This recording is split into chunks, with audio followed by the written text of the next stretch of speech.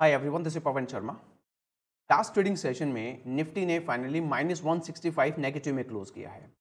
In fact बात करें अगर एफ़ की बाइंग की तो एफआईआई फ्राइडे के सेशन में भी नेट बायर ही रहे हैं। जो ज़्यादा प्रॉफिट बुकिंग करी, वो तो डीआई ने करी है। अब सवाल ये आता है कि ये जो हमारा अभी रिसेंटली जो फॉल आया है यहाँ तक तो क्या ये फॉल ये कंटिन्यू करेगा या फिर ये थोड़ा सा प्रॉफिट बुकिंग है और यहाँ से वापस से एक रिबाउंड कर सकता है निफ्टी? या मैं कहूँगा ब्रॉडर मार्केट देखिए किसी भी इंडेक्स को अगर आपको एनालाइज करना है या मैं कहूँगा चार्ट ट्रेडिंग करनी है तो कैसे करते हैं? और हमने क्यों कुछ टाइम से यहीं अटके हुए थे? और ये जो सरप्राइज़ मिला, इसको हम क्यों डाइजेस्ट नहीं कर पाए थे? मैं आपको बताता हूँ। और अगर अभी तक आपने हमें सब्सक्राइब नहीं किया फ्रेंड्स तो पहले तो वीडियो के नीचे जाइएगा सब्सक्राइब बटन पर क्लिक कीजिएगा ऐसा करने से आप हमें और हमारे चैनल को बहुत सपोर्ट करते हैं और तभी वीडियो में आगे बढ़ेगा और वीडियो अगर पसंद आती है तो लाइक करना बिल्कुल मत भूलिएगा। ठीक है जो यहाँ पर मैंने कुछ लाइन ड्रॉ कर रखी हैं। यहाँ पर अगर मैं कहूँगा इसको एक्स ये वन है थोड़ा चेंज कर लेता हूँ कलर। ये वन है, ये two, three, four and five. देखिए, फाइव के बाद तो इसने यहाँ पर आकर लाइन ही छोड़ दिया है विच मीन्स ये है Elliott wave theory Elliott wave theory को अगर हम बात करें तो ये 90 percent of the time market इसी फॉर्मेट में ट्रेड करती है और इसी फॉर्मेट में मूवमेंट करती है। तो हम यही उम्मीद कर रहे थे दैट मार्केट कुछ नहीं, चलो एटीन एट हंड्रेड था एटीन नाइन हंड्रेड था। तो हंड्रेड पॉइंट या वन फिफ्टी पॉइंट तो आराम से एक पुश के साथ में इतना बड़ा इंडेक्स ले लेता है। मतलब nineteen thousand nineteen thousand fifty या हंड्रेड तक हमारा उम्मीद था। उसके बाद भी चलो खींच के हमने ये सोचा कि कोई बात नहीं, नाइनटीन टू हंड्रेड तक जा सकता है। इनफैक्ट जो एनालिसिस थी वो यहीं ख़त्म हो गई थी हमारी। लेकिन उसने क्या किया? एक बड़ा सरप्राइज़ मूव दिया और 19523 का हाई बना डाला। अब ये किसी भी जो हमारे रूल बुक में या किसी भी चार्ट ट्रेडिंग में या कोई भी टूल में ये आता ही नहीं है। अब यहाँ हुआ क्या था मैं बताता हूँ। बहुत से ऐसे ट्रेडर थे जिनको लगा कि यहाँ पर उनके, उनसे एक रैली है जो छूट गई है। अब वो हो गए फोमो का शिकार। और उस रैली को कैच करने के लिए वो लगातार फिर क्या कर रहे थे? बाई करते चले जा रहे थे और उसके बाद में एक बड़ी मूवमेंट को उन्होंने ओरिजिनेट कर दिया। इनफैक्ट जो हमारे जून के लास्ट वीक के अंदर जब ये मूव चल रहा था तो आर्टिकल में पढ़ता रहता हूँ, कुछ फ़ेमस आर्टिकल्स हैं, कुछ जैसे हमारे पास में गोल्डमैन सैच और इनके आर्टिकल्स हैं जो इंडियन मार्केट को लेकर आते हैं। उनके आर्टिकल्स में ये बोला जा रहा था दैट ये एक पियर रन है। पियर रन क्या होता है? पियर रन होता है जहाँ पर मार्केट को बहुत ऊपर तक लेके जाया जाता है और उसके बाद में प्रॉफिट बुकिंग के बेसिस पे उसको ऊपर से छोड़ दिया जाता है।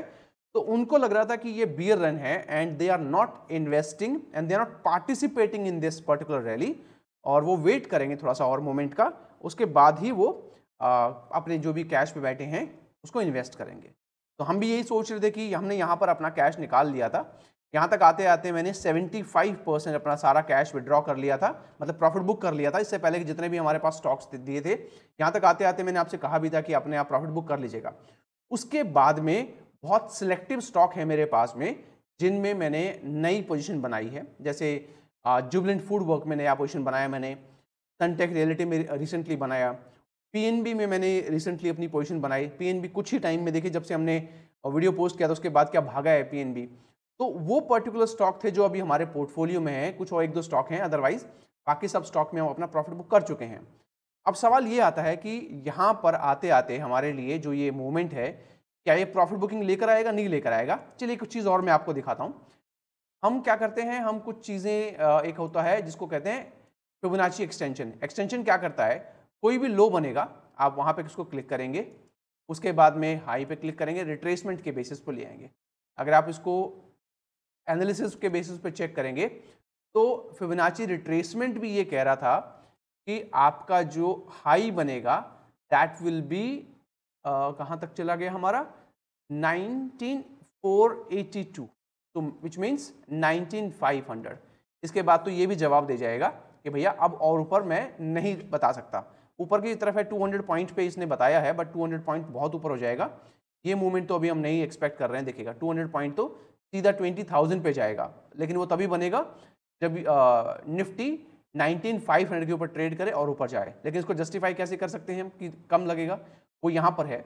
यहाँ पर जो ये निफ्टी का ऑप्शन चेन है, और मैंने पर्पसली क्या किया हुआ है, इसको 27 जुलाई के बेसिस पे मैंने इसको पिक किया है। 27 जुलाई का हमारे पास में आ, मैंने एक्सपायरी लिया हुआ है मंथ एंड की एक्सपायरी यहाँ पर नोटिस करेंगे यहाँ पर 19500 के ऊपर इसके अंदर हाईएस्ट जो है वो ओपन इंटरेस्ट जनरेट हो रहा है और ये इसका हाईएस्ट रेसिस्टेंस है।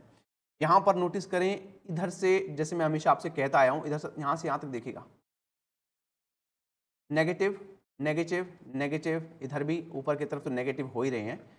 ये अनवाइंडिंग चल रही है अनवाइंडिंग तो अनवाइंडिंग का मतलब है कि अब जिनको लग रहा था कि मार्केट ऊपर जाएगा, वो फंस चुके हैं और वो अपना जो भी प्रॉफिट लॉस जो भी है वो बुक कर रहे हैं। उसके बेसिस पे जो भी शॉर्ट्स बने थे, अब वो अनवाइंड किए जा रहे हैं। तो वो जो हमारा एक्सटेंशन के बेसिस पे इसके ऊपर का जो मूवमेंट है, अभी वो पॉसिबल नहीं लग रहा है। तो सपोर्ट हमारे पास कहाँ है? सपोर्ट हमारे पास में इधर ही अटका हुआ है इसके बीच में। और कल भी हम जैसे एक्सपेक्ट कर रहे थे कि निफ्टी 19300 को टच कर जाएगा अगर ये लेवल ब्रेक हो गया। तो निफ्टी ने लो कितना बनाया था? दिन 305 का लो बनाया था if I am not wrong plus minus एक दो पॉइंट रहा होगा, अगर देखेंगे यहाँ पर। निफ्टी ने जो लो बनाया था 303 का लो बना था। तो 303 के लो बन ही चुका था। अब ये हमारे लिए जो लेवल रहेगा, इसके नीचे अगर जाएगा तो इसके बाद में जो डायरेक्ट फॉल आएगा, उसके बेसिस पे चेक करते हैं। देखिए, यहाँ पर कुछ ऐसा नज़र आता है ये। रुकेगा यहाँ पर देखिएगा। ये कुछ ऐसा दिखेगा आपको। यहाँ पर हमारे पास ये 19300 का है। उसके बाद सीधा कितना रहेगा? 19150 है और then we have 1950 and then we have 19 sorry 18950 उसके नीचे 18850 मतलब 100 पॉइंट। इसके बाद में हमारे पास में 150 पॉइंट्स का फॉल आ सकता है उसके बाद में तो 100 के मल्टीपल्स में ही हमारे पास सारे के सारे फॉल देख रहे हैं। तो हमारे लिए आ, अब करंट क्या रहेगा?